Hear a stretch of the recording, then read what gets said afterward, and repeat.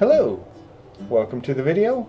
Uh, today what I'm going to be doing is I'm going to be extending the wires of the remote switch that I installed uh, the other in the last video.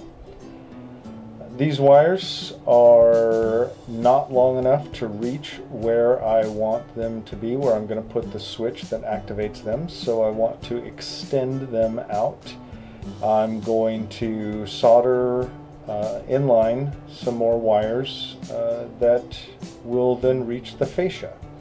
In order to do this you need a couple of things. You need wire, uh, you need a soldering iron, you need some nippers. Uh, heat shrink is always a good idea. You could use electrical tape but heat shrink is um, works better for me I think. It's easier.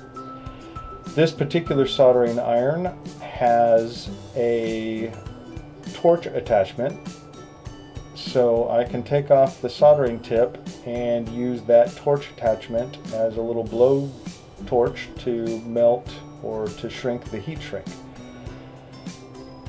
So the first thing I want to do is uh, cut this to length.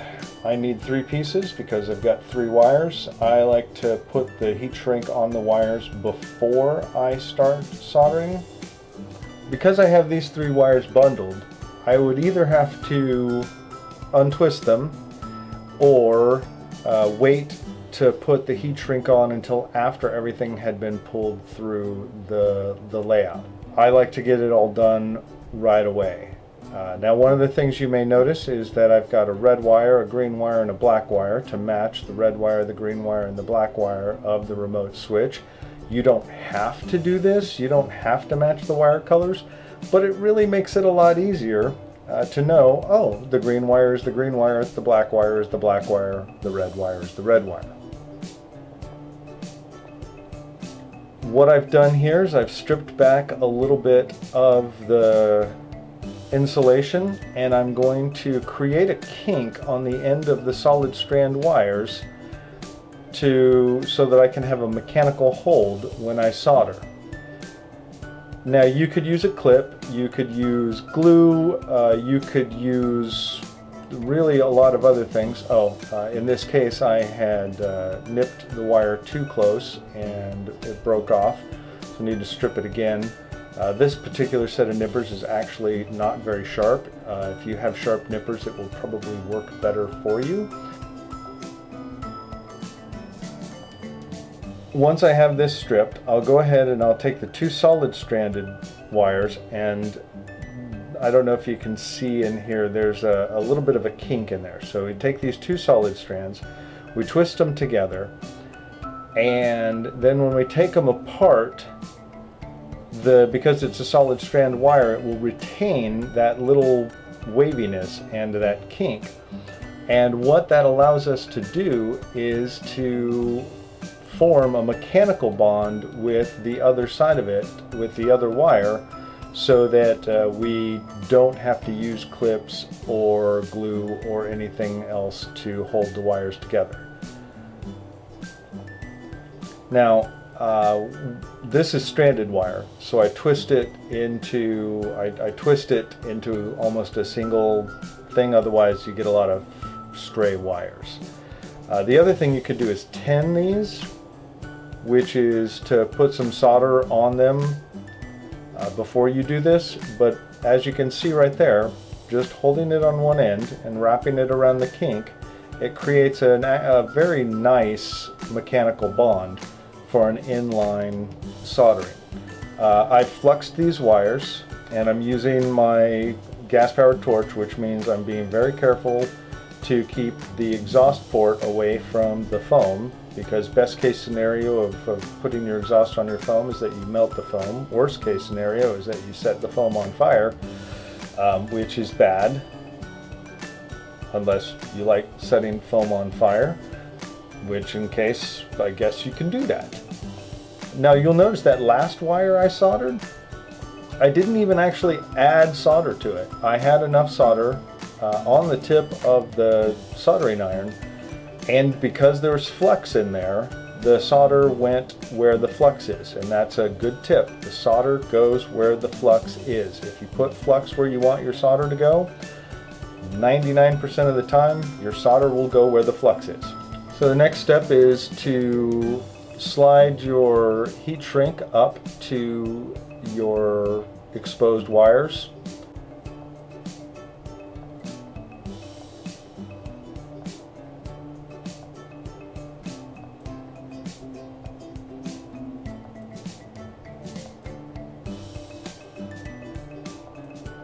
You may have to bend something out of the way, you may have to squeeze something a little bit to get it to, uh, to go right. And here we go, we've got the torch attachment, we light it up. Now for heat, for shrinking these, I have turned the flame down to the very lowest setting.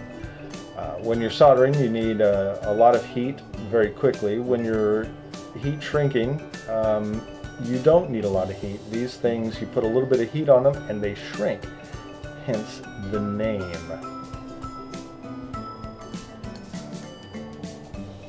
So now I'm ready to go ahead and push the wires through the foam. Uh, I have bundled the three wires together, twisted them as tightly as I can all the way to the end. I'm sorry that this isn't in focus. This is a new camera and I'm still trying to figure out how this thing works. Uh, let's go over and look at the place where we're gonna push the wires through. I've started by putting a pin, two inch pin through the inch and a half foam. So I've done this to ensure that I'm not going into a support or that I don't have anything underneath there that will interfere with where the wires come out. Next thing we're going to do is we're going to use a piece of uh, number 14 solid strand wire just to make that hole a little bit bigger.